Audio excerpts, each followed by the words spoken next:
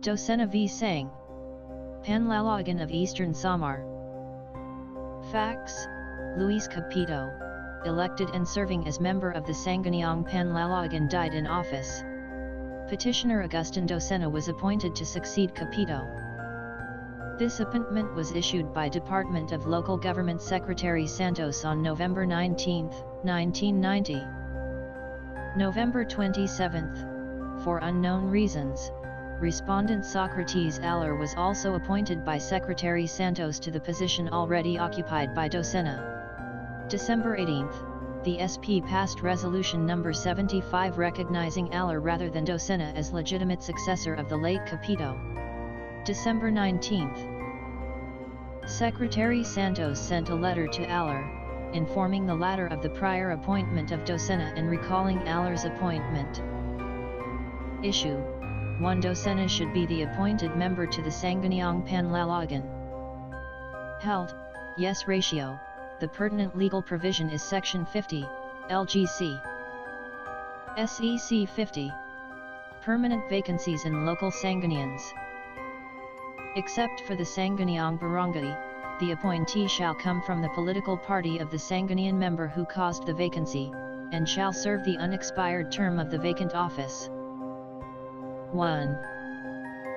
From the tenor of the appointment extended to Docena on November 19, 1990, there is no question that it was intended to be permanent. Petitioner's appointment had already become complete and enforceable at the time it was supposed to have been superseded by the appointment in favor of Aller. Docena had already acquired security of tenure in the position and could be removed therefrom only for any of the causes, and conformably to the procedure, prescribed by the local government code. These requirements could not be circumvented by the simple process of recalling his appointment. 2. The respondents are ambivalent about the power of the Secretary of Local Government to recall his appointments. They described the December 19 recall of Aller as whimsical, capricious and wishy-washy for lack of a previous hearing. Appoint of local officials common to all municipalities, cities, and provinces.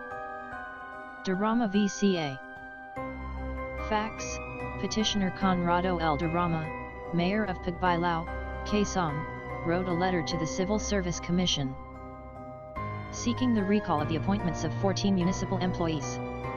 Petitioner De Rama justified his recall request on the allegation that the appointments of said employees were midnight.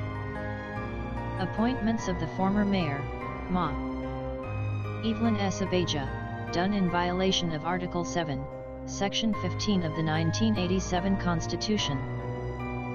Three of the said employees, namely, Elsa Marino, Morel Ayala, and Flor Eliza Oriazel, filed with the CSC a claim for payment of their salaries, alleging that although their appointments were declared permanent by Conrado Guilhem, Director 2 of the CSC field office based in Quezon, Petit Warner De Rama withheld the payment of their salaries and benefits pursuant to Office Order No. 95-01. Based on the documents submitted by Marino, Ayala, and Oriazel, the Legal and Quasi-Judicial Division of the CSC issued an order finding that since the claimant's employees had assumed their respective positions and performed their duties pursuant to their appointments, they are entitled to receive the salaries and benefits appurtenant to their positions.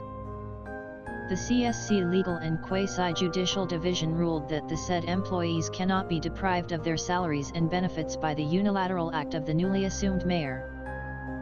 CSC denied Petitoner's request for the recall of appointments of the 14 employees, for lack of merit, and declared that the appointments of the said employees were issued in accordance with pertinent laws and cannot be withdrawn or revoked by the appointing authority until disproved by the CSC. Furthermore, CSC dismissed petitioner's allegation that these were midnight appointments. Constitutional provision prohibits only those appointments made by an outgoing president and cannot apply to local elective officials. CSC upheld the validity of the appointments, and petitioner's failure to present evidence would warrant the revocation or recall of the said appointments. Petitioner moved for the reconsideration of the CSC's resolution, averring that the CSC was without jurisdiction. to refuse to revoke the subject appointments, and to uphold the validity of said appointments. Even assuming there was failure to present evidence. Issue, whether or not Article 7, Section 15 of the Constitution covers local elective officials. Decision, no. Records reveal that when the petitioner brought the matter of recalling the appointments of the 14 private respondents before the CSC, the only justification he gave was that these were midnight appointments that are forbidden under Article 7, Section 15 of the Constitution. The CSC ruled, and correctly so, that the said prohibition applies only to presidential appointments. In truth, there is no law that prohibits local elective officials from making appointments during the last days of his or her tenure. Dissenting opinion, Mendoza. What the majority overlooks is that Article 7, Section 15 is simply an application of a broader principle that after the appointing authority has lost the elections, his is the duty of a prudent caretaker of the office. And therefore, he should not fill positions in the government unless required by the imperatives of public service.